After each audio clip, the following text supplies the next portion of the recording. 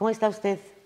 Muy buenas tardes. Pues el tema de hoy está medio delicadón porque fíjese que menos mal que se habla de la existencia de una veda, porque si bien no se hacen propaganda los candidatos, tal prohibición no alcanza para quienes no se cansan de mostrar los rostros de la corrupción ejemplificados en aquellos no surgidos de sus filas, o sea, los opositores a sus respectivos futuros jefes.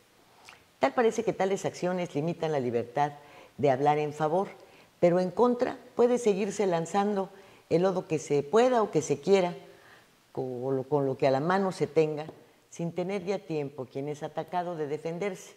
Por lo tanto, la respuesta pues, es otro ataque.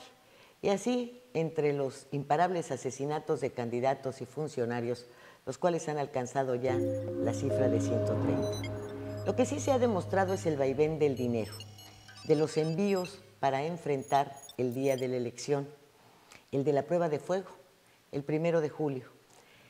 Eh, ese día deben estar suficientemente armados para adquirir los sufragios que hagan falta, ya se ha visto, ¿verdad? Muchos mexicanos han negado este tipo de operaciones. Les resulta irreal, fantasioso, extremadamente caro el adquirir, o mejor dicho, comprar tantos miles de votos como se necesiten para triunfar electoralmente, para asumir ese poder que después habrá de devolver los favores hechos con cifras 100 o mil veces superiores.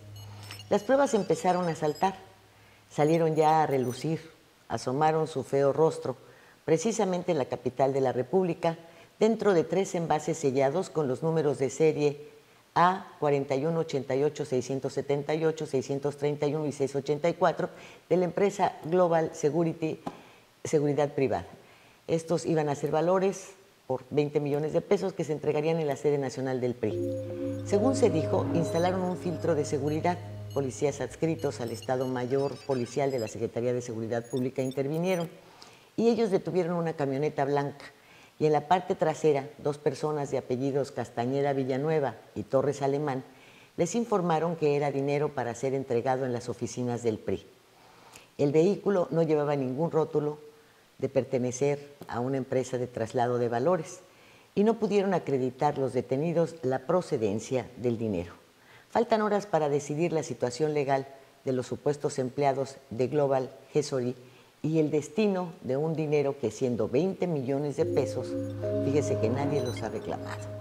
Aquí en Quintana Roo no gustan de quedarse afuera cuando de situaciones irregulares o delitos se trata. Si hay ejecutados en todo el país, pues aquí ponemos nuestro granito de arena. Si ejecutan funcionarios y candidatos, pues aquí ponemos nuestra cooperación.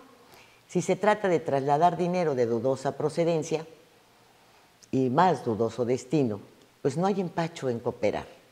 Sabido es que la empresa Vipsa esa generadora de grandes escándalos antes y ahora, cuenta con aviones en los cuales traslada a sus funcionarios, puesto que su operación depende de las instrucciones del gobierno estatal, aunque tales las disfracen de decisiones de un consejo, del cual sus integrantes no hacen sino firmar las peticiones de quien realmente manda o sea, de, ya saben ustedes, ya saben ustedes quién, ¿eh?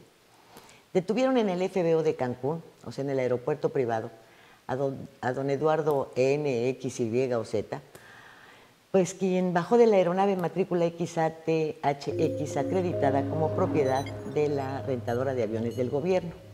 Iba muy tranquilo ahí con su mochilita cargando. Cuando le pidieron alto los federales, le abrieron la mochila y encontraron 468 mil pesos en efectivo. Vipsa esa cuenta con un Bell 407, una Piper PA31, que es la del dinerito, del cual todavía no se conoce el destino, pero que a solamente 48 horas de llevarse a cabo la elección, perdida para el PAN y sus coaligados, pudiera ser una parte de la operación del día. Tienen también un Beechcraft King Air C90, otra Piper Seneca, un Cirrus CR22 y cinco aeródromos hasta ahora no suficientemente vigilados por el ejército. Pues mire que tendrán que ponerse guapos y aclarar semejante asuntito, porque si en aviones del gobierno se empiezan a trasladar dinero o mercancías dudosas, resultará que salimos de Guatemala para dirigirnos derechito a Guatepeor.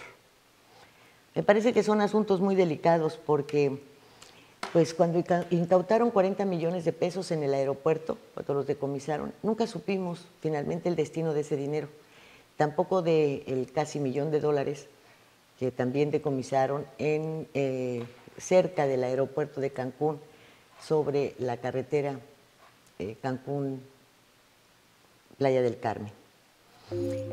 Y bueno, son tantos quienes aseguran que entregaban dinero en efectivo en fechas muy especiales como las que estamos viviendo ahora, pues ya tendremos que empezar a dejar claro todo esto porque, pues si no, ¿cuál cambio? ¿Cuál? De Guatemala a Guatepeor. Como que no se vale.